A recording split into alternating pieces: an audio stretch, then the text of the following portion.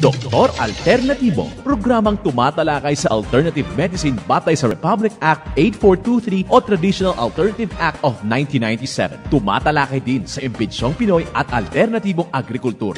Doktor Alternatibo, the expert in alternative medicine, kasama ang award-winning inventor Doc Ed Dilibo, a Doctor of Ministry and Alternative Medicine at DOST Scholar. He is the President of Philippine Society of Traditional and Alternative Medicine Incorporated, lifetime member of Philippine College for Advancement in Medicine, spokesman, the Vow Inventors Association, Vice President for Advocacy Filipino Inventors Federation. His formula was awarded and recognized by the Department of Science and Technology, Technology Application and Promotion Institute. Nanalo ng second and third prize as most outstanding creative research and utility modem as anti-hypertensive, anti-diabetic herbal composition, and food supplements that promotes good health during Mindanao Invention Contest and Expo 2009 and finalist during National Invention Contest and Expo 2009. This said formula was awarded by Intellectual Property Philippines Office, Philippine Chamber of Commerce and Industry as finalist of Ambassador Alfredo M. Yao IP Innovation Awards 2009. Doktor Alternativo, the expert in alternative medicine, kasama ang editor-in-chief ng newscast Edel Roderos.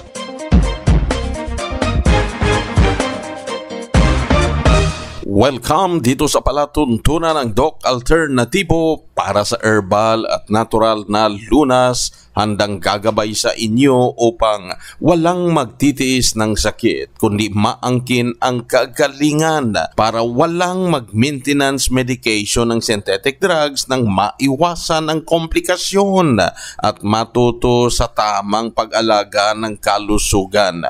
Ito ay napatunayan sa mahigit 14 years ni Doc Alternativo founder, multi-awarded inventor Doc Ed Dilibo na siyang ating sinundan at ipinagpatuloy na advokasya. Ito po ang inyong national chairman ng One ASAP Movement, Chief Edel Roderos para sa alternatibong panggagamot, pagsasaka at pangkabuhayan.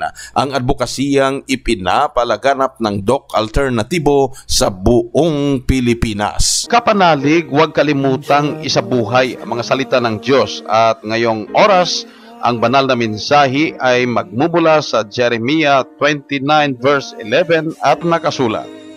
Sapagkat nalalaman ko ang mga pag-iisip na aking iniisip sa inyo, sabi ng Panginoon.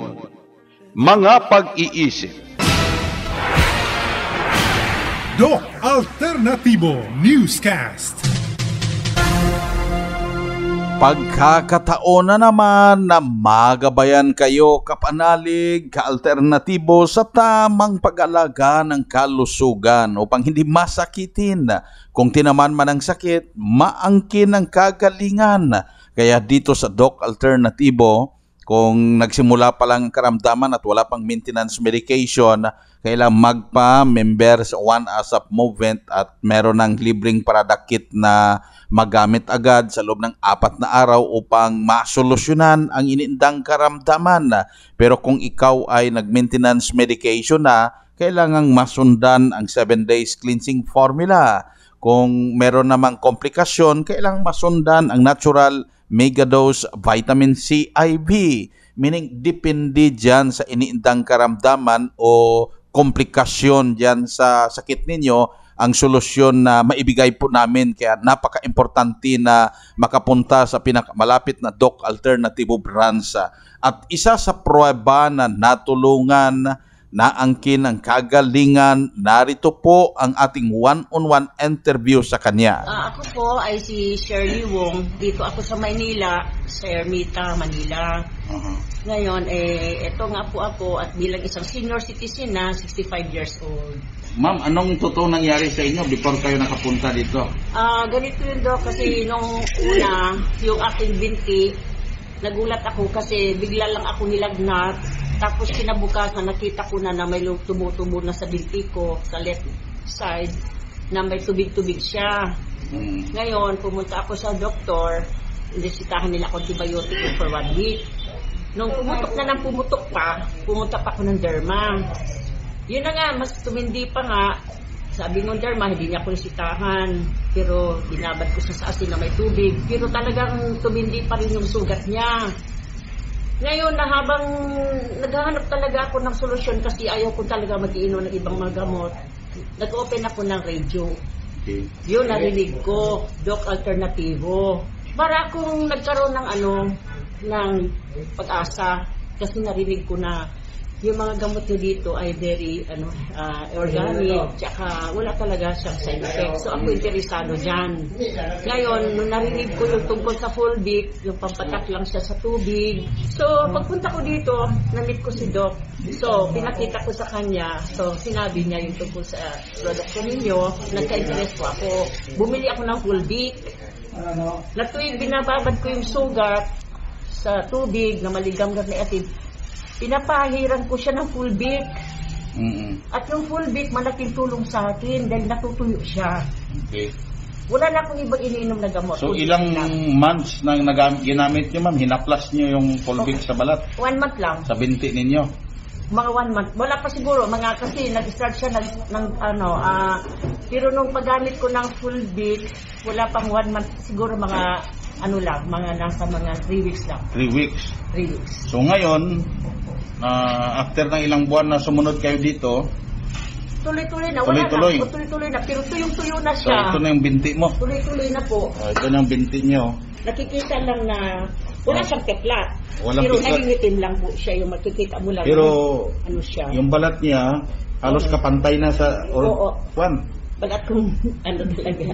Oh, so wala na yung sugat na Wala siyang sugat. yung parang litso na balat, wala, wala na. na po. Wala na po. Wow, congratulations ma'am ha. Masalamat talaga. Ma'am, ano po ang masasabi mo sa mga nanonood at nakikinig sa Veritas din? Ah, ako po ay isa sa mga pinagaling din ng product ng Doc Alternativo ng Pulbi kasi isa yan sa aking iniinom at pinapahid ko sa sugat ko. So in-encourage ko yung iba na gamitin nyo rin itong product nila kasi maganda.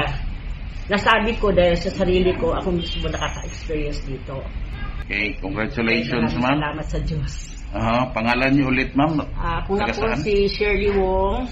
Dito po ako ngayon nakatira sa Maynila, sa Ermita, Manila. 65 years old na po ako. Ah, Yan ang buhay na prueba si Ma'am Shirley Wong from Ermita, Manila at dati ay nakaranas ng ah, skin disease na naging sugat at hanggang parang naaagnas yung ah, balat at hindi na humilom. Kaya nagdesisyon na puntahan ang napakinggan na programa ng Doc Alternativo at nang nakarating sa Pasay City Branch sinundan ang mga itinuro sa kanya na dapat gawin. Ngayon, na nakapagsabi na after three weeks, yung ah, binti niya ay gumaling. Hanggang ngayon, totally bumalik sa normal ang binti at siya nang nakapag-imbita na subukan dahil sa kanya, personal niyang napatunayan na angkin ang kagalingan at wala nang maintenance medication. Kaya sa mga nakikinig na hanggang ngayon ay nagtitiis ng sakit, lalo na sa mga nagkakomplikasyon, eh, huwag mawala ng pag-asa. Puntahan pinakamalapit na Doc Alternativo Branch upang magabayan.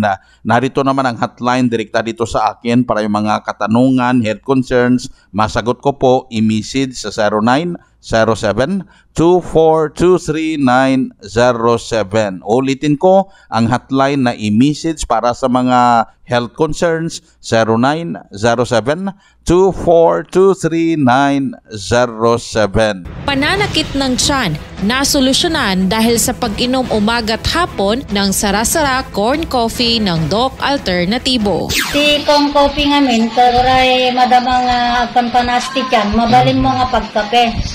Ta kalpasan nga nagkape ka, iti dahito kong coffee, sumardong jay, sakit ti tiyan, panaas ti tiyan. Sa pintas kumamot mga padasan damang, kas kanya kidi, pinadas ko na apay nga kapkap iti may isang uh, titak, kada ito eh. Ngam na ibagada nga mayat gayam nga oret ulcer mo, mabalin mo sarang. Iso nga nabusar naktikas ko. Perlita ba ay tagagidda magulong, 61 years old.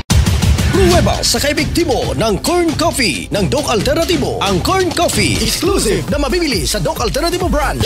Bukas alas 9 ng umaga hanggang alas 5 ng hapon. Doc Alternativo para sa herbal at natural na lunas. Ang Doc Alternatibo bukas alas 9 ng umaga hanggang alas 5 ng hapon. Dalhin ang medical records or any laboratory result sa pagpunta sa branch during one-on-one check-up and counseling schedule upang magabayan po kayo sa tamang solusyon tungo sa kagalingan dyan sa iniindang karamdaman at mahinto na safe ang maintenance medication. Kaya sa mga nag-maintenance medication at tinamaan ng komplikasyon ay talagang pinapasunod sa 7 days cleansing formula at natural mega dose vitamin C IV at patunay na natulungan na hinto na safe ang maintenance medication, narito naman ang nag-undergo sa 7 days cleansing formula at natural mega dose vitamin C IV dito sa Doc Alternativo. Ma'am, bago kayo nagdesisyon na mag-vitamin C infusion, ano po yung mga karamdaman po natin? Uh, based sa, sa laboratory result, tapos from different hospitals, ang result nila yung sa liver daw, pati liver, tapos yung kidney, gallstone, tapos yung sa ovary, yung sa ovary sabi nila meron daw anong bukol. Tapos doon ko nalaman na high blood daw ako. Ma'am, meron ka po bang mga tinitake na mga synthetic ah, maintenance before ka nag-undergo? Mayroon eh. Una yung sa high blood, una yung losartan sa umaga. Tapos sa sa gabi naman yung amlodipine. Tapos mayroon din yung sa cholesterol, tapos yung sa sugar. So marami ma'am. Kumusta naman ma'am after mo mag-vitamin C infusion? Nakatulong po ba ito? Na-stop po ba yung mga maintenance mo? At gumanda ba ang pakiramdam mo ma'am? Sa ngayon, wala na akong tini- tinitik na no, mga synthetic. Para paga naman, paga naman ang ano, pakiramdam ko. Malaking tulong po ba sa inyo ang vitamin C? Malaking tulong. So ma'am, ah, sa huli po, buong pangalan po natin, edad, at taga saan po tayo ma'am? Pangalan ko, Otelia Espelita Ihon. From University of Eastern Philippines, Sunto, Katarman, Northern Samar. Yan ang buhay na prueba si Ma'am Ophelia Eron from Katarman, Samara. Nahinto na safe ang mga maintenance medication na iwasan ang operasyon. Matapos niyang sinunda ng 7 days cleansing formula, ang natural mega dose vitamin C IV na tatlong beses niya ginawa dito sa Doc Alternativo at ngayon bumalik ang kalakasan ng pangangatawan. Kaya sundan upang hindi na mag-maintenance medication pa ng synthetic drugs at wala na ring komplikasyon. Puntahan pinakamalapit na branch ng Doc Alternativo upang magabayan po kayo kung paano gawin dyan sa bahay ang 7 days cleansing formula na maging parte ng diet po ninyo at nakaschedule na natural mega dose vitamin C IV sa branch. Pagkatapos, gagabayan kayo sa tamang pag-alaga ng kalusugan. Kaya laging uh, sinasabi natin dito na ugaliin, na patakan, haluan ang fulvic mineral ang inuming tubig para hindi na problema yung blood pressure, blood sugar, cholesterol, uric acid. Yan yung uh, kalimitan na nangyayari ngayon. Eh, may iwasan na yan at ugaliin na uminom ng vitamin B complex powder o di kaya best milk para hindi malilimutin habang nagkakaedad. Maging normal pang pagdumi araw-araw at mahimbing ang tulog gabi-gabi. Lalo na sa mga merong nerves problem, yung biglang uh, gumagalaw ang nerves at minsan may tumutusok na parang masakit na nawawala lang ng kusa, uminom po kayo ng vitamin B complex powder at best milk. Natural, fresh, at organic milk ba ang hanap mo? Magdoc F Best Milk na. Gawa sa mga natural at piling-piling sangkap na puno ng vitamina at minerals, siksik sa fiber at calcium. Kaya malaking tulong sa kalusugan, lalong-lalo na sa mga kabataan at mga mahihina ang katawan. Magdoc F Best Milk na. Pampasigla, pampatalino, at siguradong healthy ka.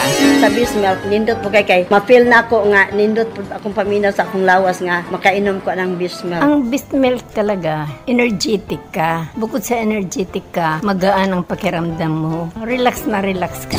Mag-Doc F Best Milk na araw-araw.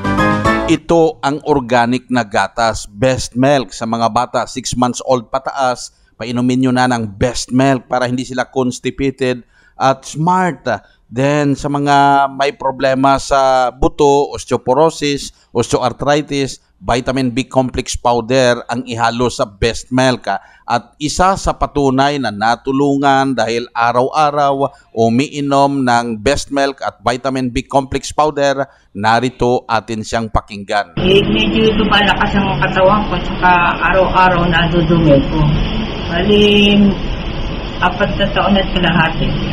Sana subukan ninyo ang uminom ng B-complex dahil nakakalakas ng katawan at makakatibay ng buto. Hindi sa lahat, araw-araw nakakadugo kayo.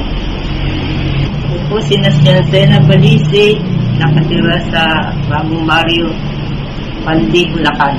72 years old. Yan ang patunay na natulungan, naging malakas ang pangangatawan, araw-araw, maayos ang pagdumi, mahigit apat na taon nang umiinom ng vitamin B complex powder, inihahalo sa best milk, kaya sundan po ninyo para habang nagkakaedad, matibay ang pangangatawan at hindi constipated.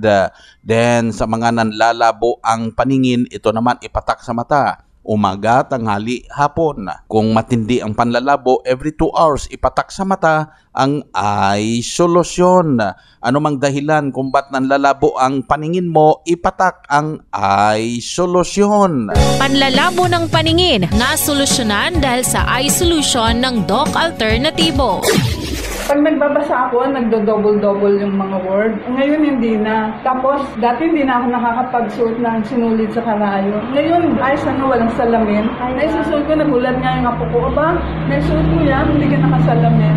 Oo nga, ano, hindi ko nakalayan, luminaw ang mata ko, nakakabasa nga uli ako ngayon. eh. Virginia Simeno, taga dito sa San Fernando, 72 years old. Pruweba sa kaebektibo ng Eye Solution ng Doc Alternativo. Ang Eye Solution exclusive na mabibili sa Doc Alternativo branch. Bukas alas 9 ng umaga hanggang alas 5 ng hapon. Doc Alternativo para sa herbal at natural na lunas. Pananakit ng tiyan, nasolusyonan dahil sa pag-inom umaga't hapon ng sarasara corn coffee ng Doc Alternativo. Si kong coffee ngamin, karay madamang uh, panpanasti yan, mabalin mo nga pagkape. Ta kalpasan nga nagkape ka, iti dahito kong coffee, sumargang jay, sakit ti yan, panasti yan. Sa pintas kumamot mga padason damang, kas kanya kidi, pinadas ko na apay nga kapkapiti may isang uh, titak kada ito eh. Ngam na ibagadang mayat gayam nga ore dolser mo mabaling mo sarang iso nga nabusar naktikas ko. Perlita ba ay tagagidda mabulong 61 years old. Pruweba sa kaebektibo ng Corn Coffee ng Doc Alternativo. Ang Corn Coffee exclusive na mabibili sa Doc Alternativo branch. Bukas alas 9 ng umaga hanggang alas 5 ng hapon. Doc Alternativo para sa herbal at natural na lunas. Congratulations sa mga One ASAP members na meron ng ID mula sa Naga Camarines Sur Branch, sina Roberto Lagasca Jr., Sister Luta Espiritu, Ramon Nuiz, Lydia Galon, Domingo Andaya at Corazon Abucar. Sa mga One ASAP members na wala pang ID, puntahan ang pinakamalapit na branch ng Doc Alternativo sa inyong lugar para maka-fill up ng form na kailangan para sa ID at 150 pesos payment. Good news naman para sa pamilya ng miyembro dahil pwede rin silang magawa ng ID at maka-avail ng benepisyo bilang miyembro na. Puntahan ang pinakamalapit na branch ng Doc Alternativo para maka-fill up ng form at payment 500 pesos. Ang One ASAP members ay benepisyaryo ng discount, pa-promo, services, buy one take one at buy one take two sa mga Doc Alternativo products at machineries. Ipakita lang ang One ASAP members ID sa Doc Alternativo branch. Doc Alternativo Newscast.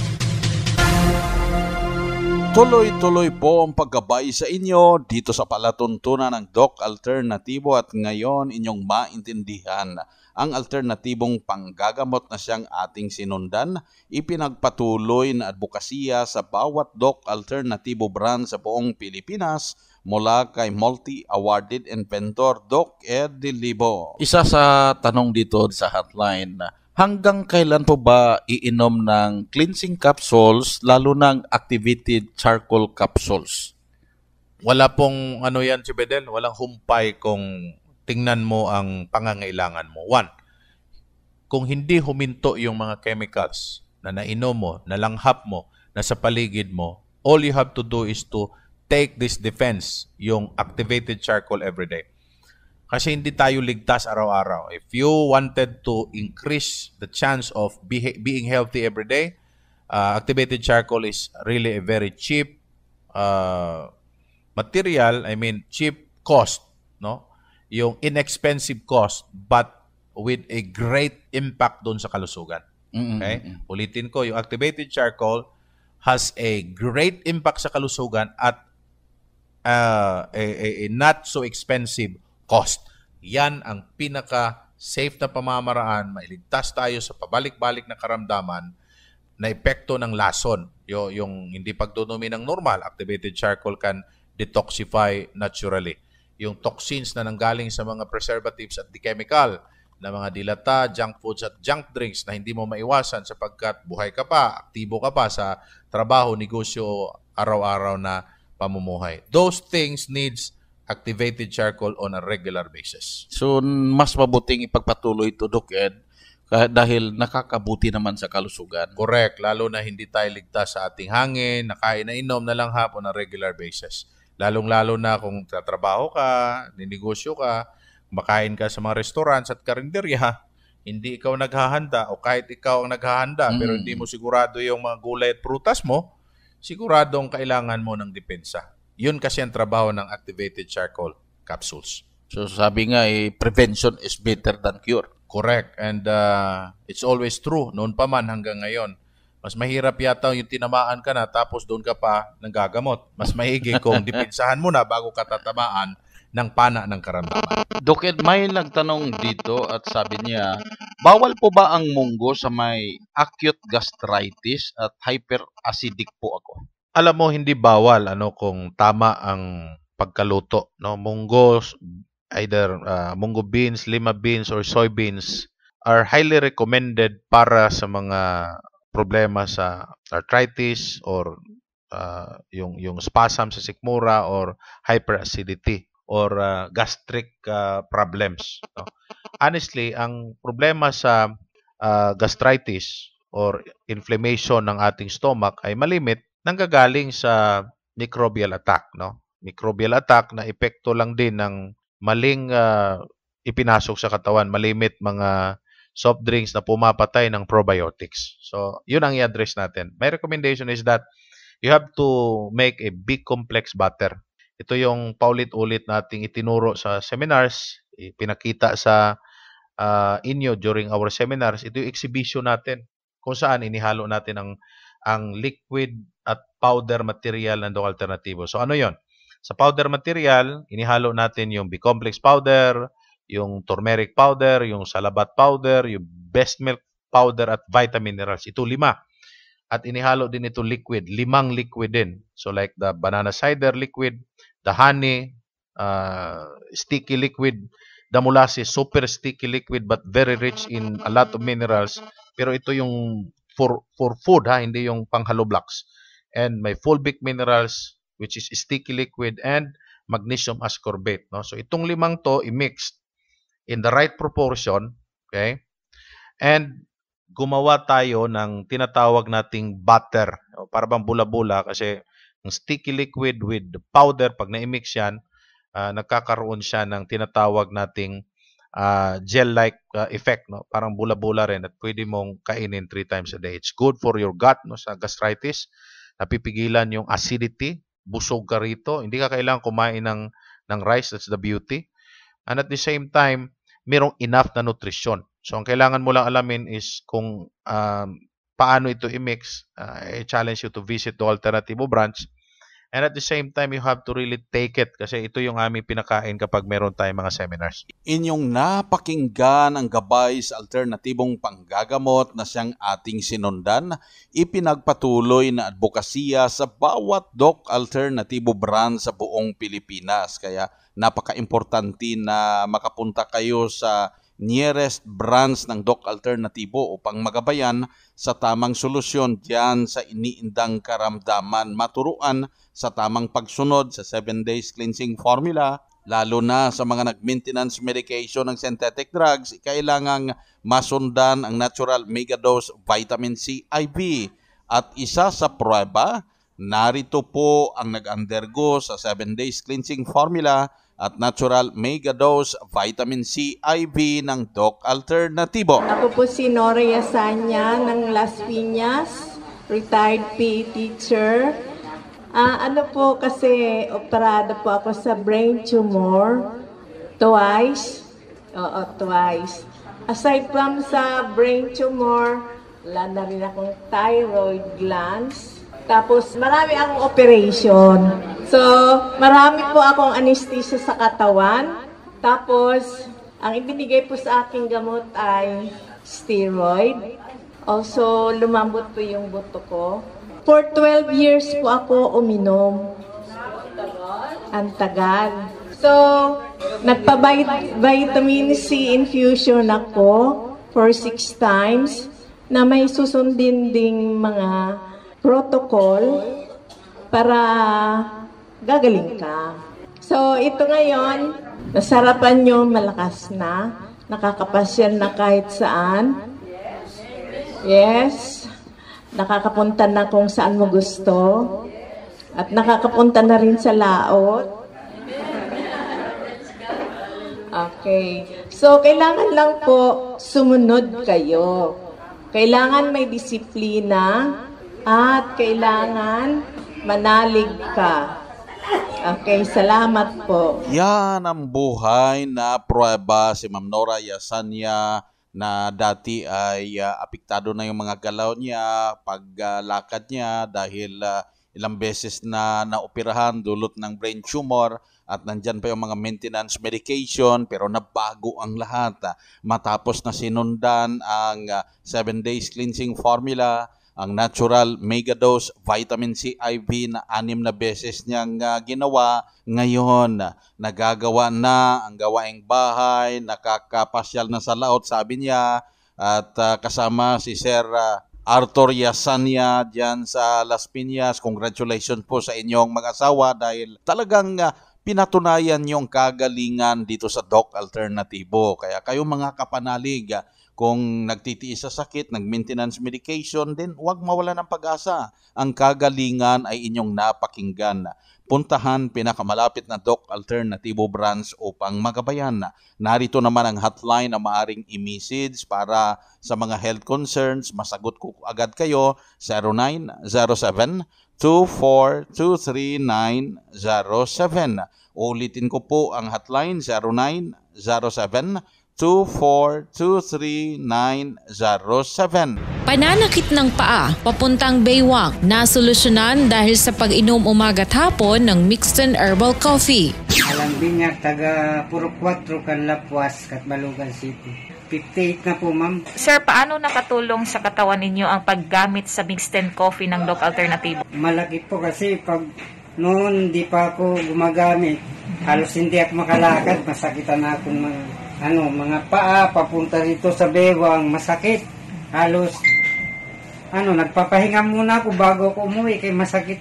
Talagang masakit. Ang mixed eh, ano, epektibo. Mm-hmm. Sinubukan ko. Mm-hmm. Tapos yun nga, mga paggamit ko pa lang eh, pagbiyahe ko, dire-diretso na uwi ko, mm-hmm. malakas ang katawan ko. Tsaka normal lang pag ang dumi ko kay kadto ano eh, tubig yan na, normal, maganda, maganda ang pagdumi ko. Ang payo ko sa kanila na may tulad ko na ma, may masakit sa buong katawan, malaking tulong ito, inanyayahan ko kayo. Kasi subukan nyo. Wala namang mawawala.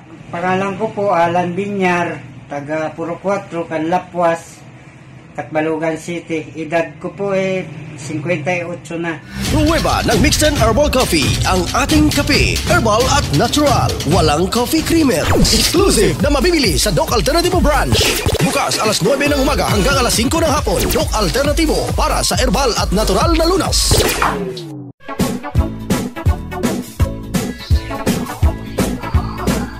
Kapanalig dahil limitado ang oras dito sa palatuntunan sa radyo dahilan na may limitasyon ang paggabay sa inyo para sa herbal at natural na lunas. Ang mga nagtestimonya ay inyong mapanood nandyan sa YouTube.